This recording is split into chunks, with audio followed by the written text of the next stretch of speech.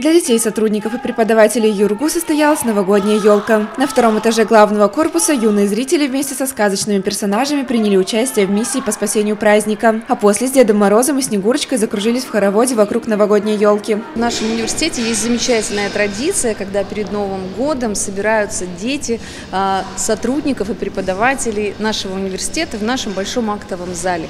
А, и не изменяя традициям, сегодня новогодний спектакль. И возле этой красивой красивой елки проходит яркая, веселая праздничная интермедия для детей. На празднике юные гости вместе с родителями участвовали в интерактивах, танцевали и пели песни. Потрясающая елка. Я выпускница ЮРГУ энергофакультета. И, конечно же, своего ребенка на первую елку я веду э, куда? В ЮРГУ. Потому что потрясающая подготовка персонажей, взаимодействие с детками э, и, конечно, спектакль, который мы ожидаем, нам уже актуально. После традиционного хоровода вокруг новогодней елки представление продолжилось в актовом зале вуза. Актеры театра драмы имени Наума Орлова выступили с авторской интерактивной постановкой «Как зайцы Новый год проспали». По словам организаторов, костюмы персонажей, тактильные и визуально вызывающие ощущения праздника были созданы специально для постановки. Их эскизы разработали в Санкт-Петербурге. Одеяние Деда Мороза весит 12 килограммов и инкрустировано кристаллами Сваровски.